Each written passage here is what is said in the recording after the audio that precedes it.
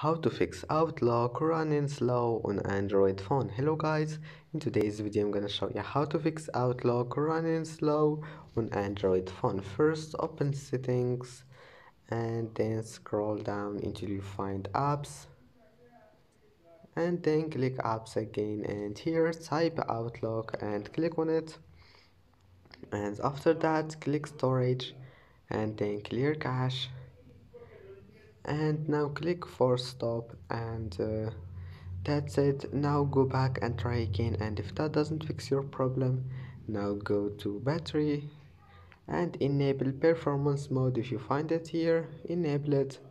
And that's it. Now go back and uh, close all the applications in the background and then try again uh, close all applications here and try again and i hope that can fix your problem.